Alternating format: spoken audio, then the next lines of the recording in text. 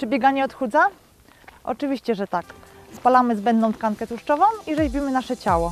To idealny sposób na idealną sylwetkę. Co warto robić?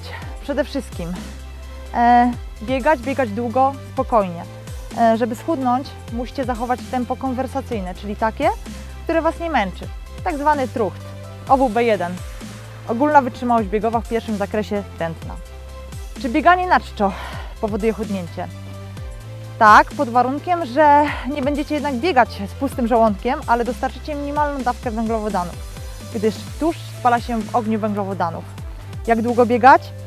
Co najmniej pół godziny. Wysiłek poniżej 30 minut nie powoduje chudnięcia.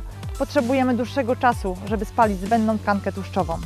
Jaki trening robić, żeby schudnąć?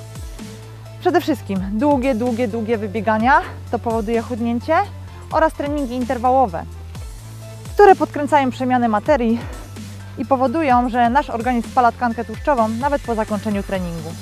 Dodatkowo, oprócz biegania musicie pamiętać o odpowiedniej diecie. Tutaj, tutaj z pomocą mogą też przyjść suplementy, takie jak L-karnityna czy koktajle białkowe. Czego Wam życzę? Idealnej sylwetki, dobrej wagi i sukcesów na mecie. Do zobaczenia w kolejnym odcinku.